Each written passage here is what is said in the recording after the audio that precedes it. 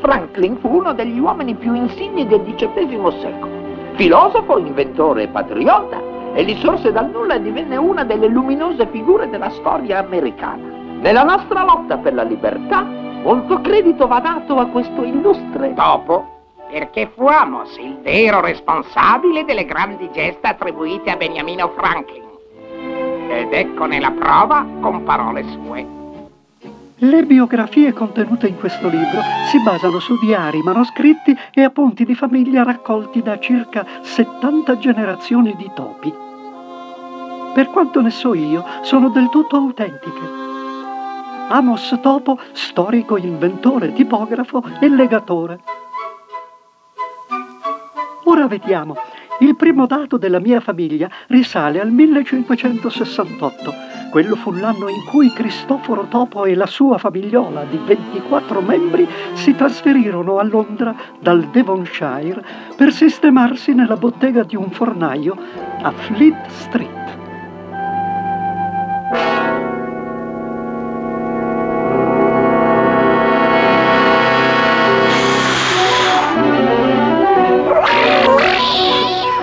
Salvo le ordinarie difficoltà per sfamare e vestire la famiglia, non avvenne nulla di importante fino al 1573. Poi, un nebbioso giorno di novembre, Erasmo, l'intrepido figlio maggiore, provocò grande eccitazione quando attraversò il vorticoso e infido fiume Tamigi in una tazza. Un'impresa nautica fino ad oggi mai più eguagliata da un topo. Oh, Aloisio. Aloisio era un topo pittore, uno degli autentici talenti della nostra famiglia. Studiò sotto il grande Hans Holbein, sotto il pavimento dello studio del famoso maestro. Da lì sotto poteva osservare ogni pennellata di quel grande artista. Così facendo, Aloisio acquistò tanta abilità col pennello da superare il suo maestro. Anche se non diventò mai famoso, è un fatto innegabile che i piccoli dettagli delle opere di Holbein avrebbero potuto essere opera solo di un topo. Uno dei più coraggiosi e importanti tra i miei antenati è stato il mio bis bis bis nonno Giasone Topo che fu il primo vero assertore dei diritti dei topi. E in un'epoca in cui i nostri diritti erano in grave pericolo. All'inizio del XVII secolo il numero dei gatti di Londra aveva raggiunto proporzioni allarmanti. La città era minacciata da una penuria di topi. Allora, nel 1620, Giasone preparò una petizione per far sì che tutti i gatti fossero messi in gabbia. Ma l'atto fu ignorato. Allora Giasone nascose la sua famigliola in un sacco della posta in partenza per il porto di Southampton. E salparono dall'Inghilterra con la prima nave.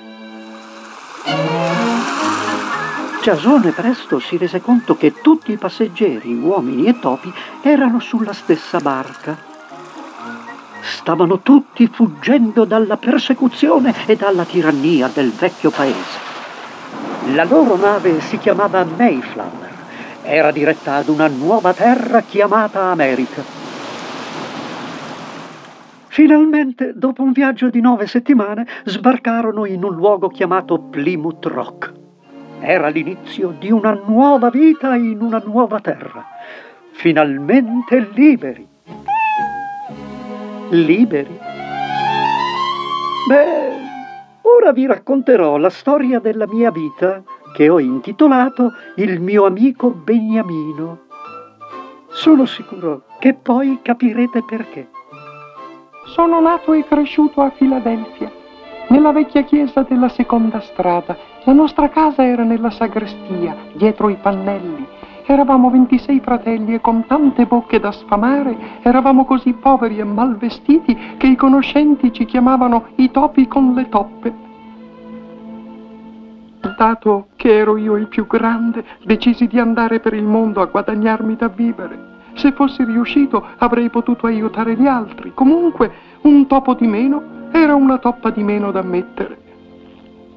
Era l'inverno del 1745 ed erano tempi difficili. Trovar lavoro era un problema, specialmente per un topo, dato che eravamo una razza oppressa e calpestata. Topo! Cercano un garzone!